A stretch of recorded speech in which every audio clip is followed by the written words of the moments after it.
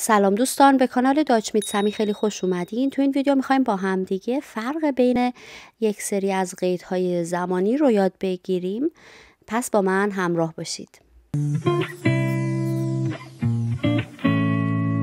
قیدهایی که می‌خوایم امروز یاد بگیریم قیدهایی هستند که استفاده میشن وقتی که ما می‌خوایم جواب سوال وی آفت رو بدیم. وی آفت چند وقت یک بار. مثلا یکی می‌پرسه وی آفت کاخستو؟ چند وقت یک بار آشپزی می‌کنی تو؟ وقتی که این سوال وقتی که با وی آفت سوال میشه ما می‌تونیم از این قیدها استفاده کنیم. اونها هستند نی هرگز فست نی تقریبا هرگز زلتن به ندرت منchmal یا اینکه اب und zu manchmal یعنی گاهی اب zu هم دقیقا به همین معنیه گاهی گهگاهی oft یا اینکه häufig اینها یعنی اغلب meistens یعنی اکثرا fast immer تقریبا همیشه و ایما یعنی همیشه. اگر ما یک فلش داشته باشیم به سمت بالا نی صفر درصده هرگز و ایما صد درصده همیشه. با هم چند تا مثال می‌بینیم. یکی می‌پرسه وی آفت کاخستو وی آفت کاخست دو چند وقت یک بار آشپزی می‌کنی؟ همینطور می‌تونه بپرسه وی آفت kochst du in der Woche. چند وقت یک بار آشپزی می‌کنی تو؟ در هفته. Wie oft kochst du in der Woche? هر چند وقت یک بار در هفته آشپزی می‌کنی تو. در جواب های سوال وی آفت گفتم ما می‌تونیم از این قید هایی که امروز داریم یاد می‌گیریم استفاده کنیم. وقتی یکی می‌پرسه وی آفت kochst دو و من میگم نی یعنی من هرگز آشپزی نمی کنم. ich koche نی. من هرگز آشپزی نمی کنم. ich koche fast نی. من تقریبا هرگز آشپزی نمی کنم. ich koche selten من به ندرت آشپزی می کنم.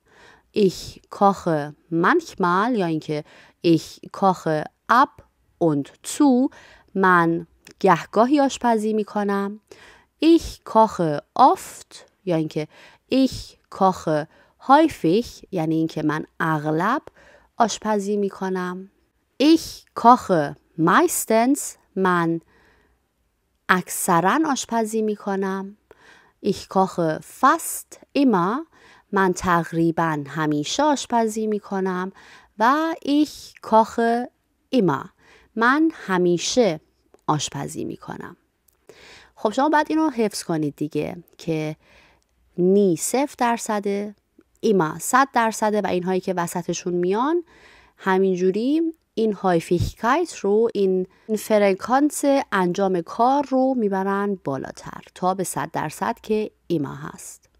این جمله‌ای که الان من براتون گفتم این جمله به طور کلی بود. ولی ما می‌تونیم دایره زمانی رو محدودتر کنیم و با وجود این از این قیدها استفاده کنیم. مثلا وقتی که ما میگیم ایش کاخ نی یعنی من هرگز آشپزی نمی کنم ولی ما می‌تونیم بگیم ایش koche nie an den Wochenenden.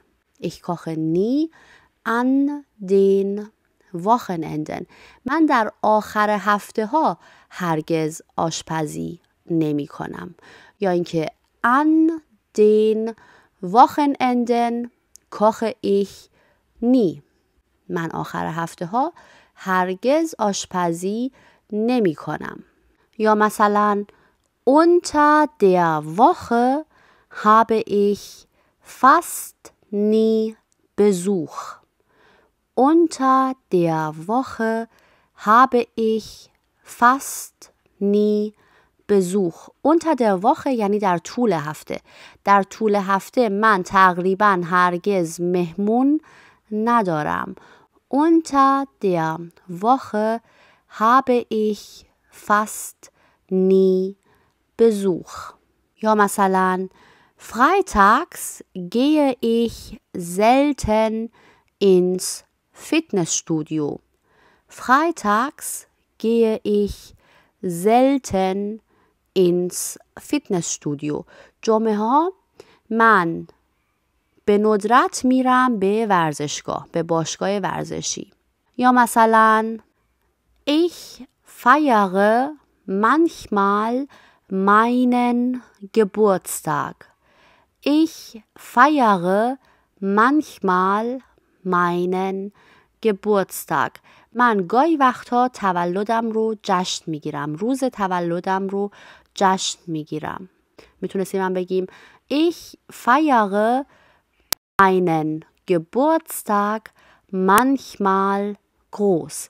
من گاهی وقتها تولدم رو بزرگ جشن می‌گیرم. جشن تولد بزرگ می‌گیرم. Wenn ich Besuch habe, koche ich häufig Persisch.